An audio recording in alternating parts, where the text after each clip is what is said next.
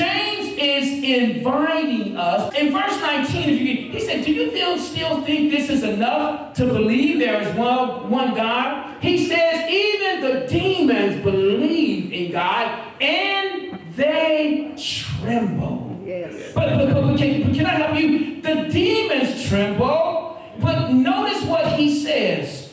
He says, Fool, will you ever learn? I, am not trying, I know, I and say, the, the pastor just called you, called me a fool. No, no, no. Pastor's not saying that. The scripture says, you